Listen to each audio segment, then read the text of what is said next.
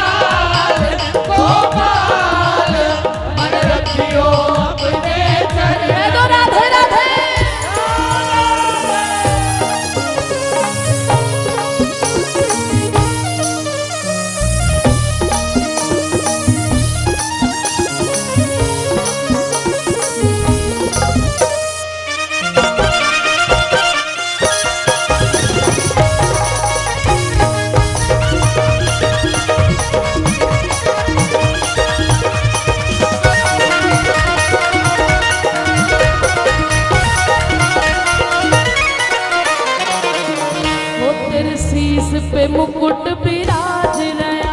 तेरे शीश पे मुकुट विराज रहा हो तेरे कान में कुंडल साज रया।